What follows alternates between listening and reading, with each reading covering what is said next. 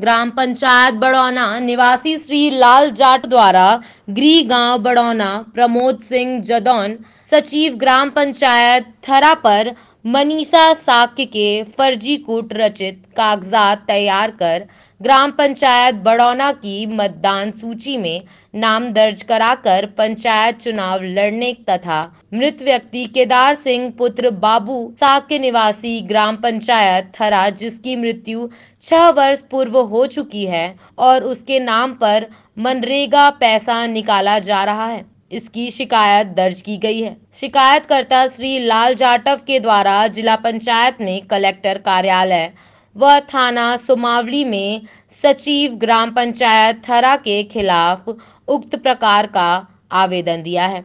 सुमावली थाना प्रभारी जयपाल सिंह गुर्जर द्वारा बताया गया कि ग्राम पंचायत बड़ौना निवासी श्री लाल जाटव से एक आवेदन प्राप्त हुआ है। प्रकरण की जाँच कर जो भी तथ्य सामने आएँगे उन पर कार्यवाही की जाएगी। क्या नाम है आपका? श्रीलाल जाटव। कहाँ के रहने वाले हैं? ग्राम बड़ौना। ग्राम बड़ौना। ग्राम बड़ौना क्या है? पंचायत है? हाँ पंचायत है सर। ग्राम पंचायत बड़ौना। ग्राम पंचायत बड़ौना। क्या समस्या है श्रीलाल जी आपकी? समस्या ये है सर कि दो हज़ार उन्नीस में आरक्षण हुआ। आरक्षण में अर्जन सीट हो गई बड़ौना।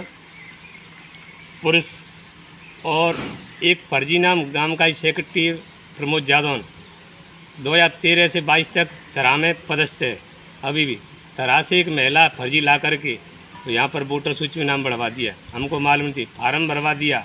सब कुछ डॉक्यूमेंट चुपचाप करके गटसट उसने वो महिला चुनाव लड़ा दी चुनाव जिता लिया। पाँच चार वोट से खरीद करके।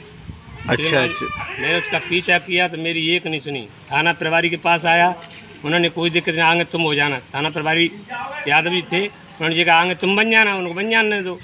तो सर मैंने पीछा नहीं छोड़ा है मैं आवेदन भी दे रहा हूँ। कहाँ कहाँ आवेदन दिए हैं आपने? मैंने पंचायत राज संचालय भोपाल दिया है। अच्छा अच्छा जिला पंचायत? जिला पंचायत में दिया है। कलेक्टर महोदय? कलेक्टर महोदय को दिया है। सर ये ग्राम पंचायत बड़ौना के चुनाव संबंधी कोई आवेदन आया है? हाँ एक सीलाल जाटव हैं ग्राम पंचायत बड़ौना के रहने वाले।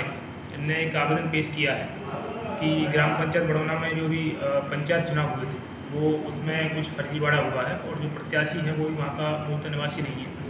कन्या करके रहने वाला है उसको चुनाव लड़ा के उसको जिताया गया फर्जी तरीके से। इस पर जाँच कर रहे हैं जाँच बाद जो भी कार्रवाई होगी उसमें कही जाएगी।